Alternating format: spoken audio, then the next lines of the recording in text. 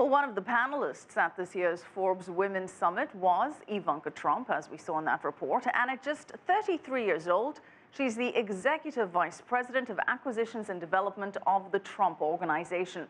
She's also the founder of an apparel and accessories company, best-selling author, and mother of two. Shraysi sat down with Trump as she explained how she balances it all and discussed some of the challenges that come with her famous last name. Well, for me right now, everything is about top priority. I'm a wife, um, another top priority. I work alongside of my brothers at the Trump Organization, spearheading our development and acquisitions. Um, I run our hotel company um, with my family, and I have my own business. So, you know, I think that's part of what every person and every entrepreneur experiences, but um, just ensuring that I'm in the right place at the right time. Um, I'm supplementing my weaknesses with the right people um, who have the skill set, the next level, um, and, uh, and really just being very thoughtful about what I want to be, what I want this company to be, um, and and the plan for the business over over both the mid end and ultimately the long term. I'm 33 years old, so I don't want to be thinking about the next three years. I have to be thinking about the next several decades, and and that's something that. Um, really, it keeps me up at night, but in a in a very positive way.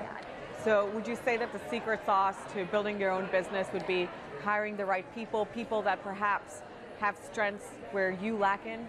So I think there are a couple of things. You know, when I look at my friends who have been incredibly successful um, entrepreneurs, obviously you have to have an idea and it has to be a good one.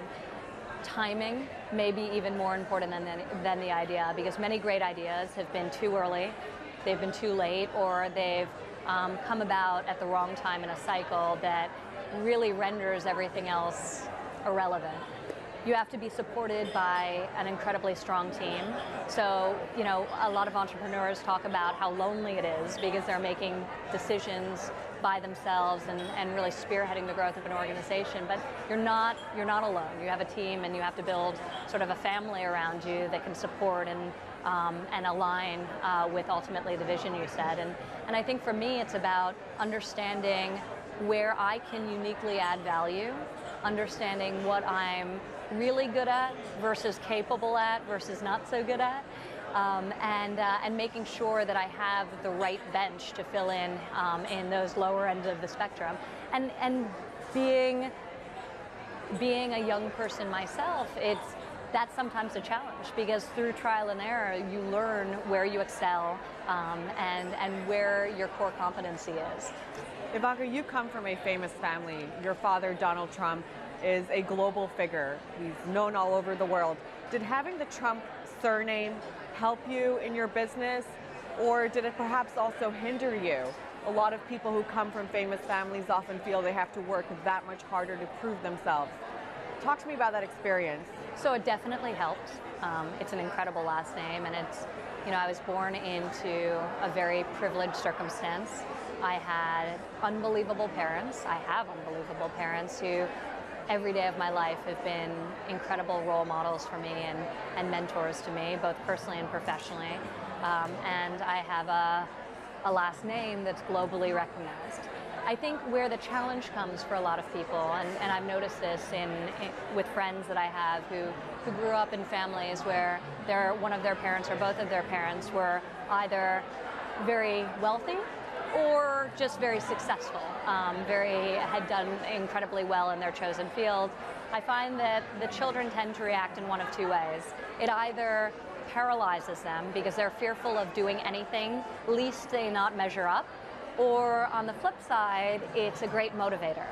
And you recognize that you have to earn the respect of people. And in some ways, you have to work harder to earn the respect of the same people um, because because not everyone's rooting for you to, to succeed.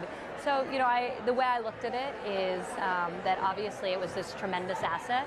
Um, I'm incredibly proud of my family, but I also, you know, the fear of not measuring up, the fear of failure was a great motivator for me as well. What's the biggest business lesson you have learned along the way that you can share with other women out there who want to perhaps build a successful business or emulate what you have done? I think the key is that you have to follow your passion And a big part of that is figuring out what it is that you're passionate about. So when you're young, you have to try many different things. I have a lot of friends who are working hard, who are highly capable, who are very intelligent, but they don't love what they're doing and they'll never be great as a result. So you really have to find what it is that you're deeply passionate about if you if you want to be successful in that field.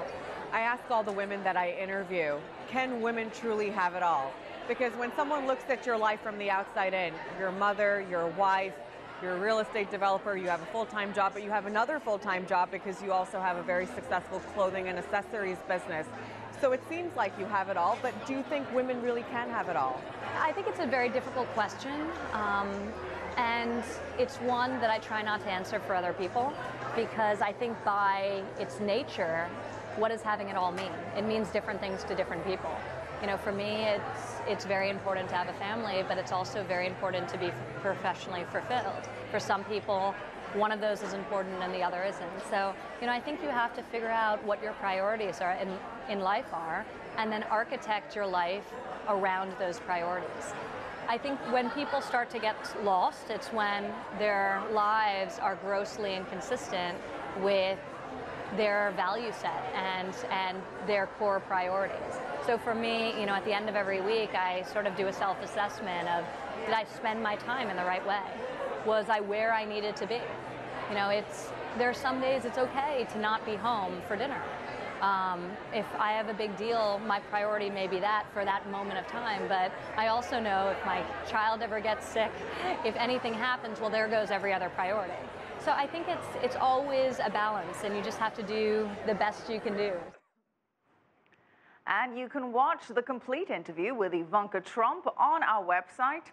And while you're there, check out her answer to our question, what inspired you to start a business? It's our one more question on cctvamerica.com.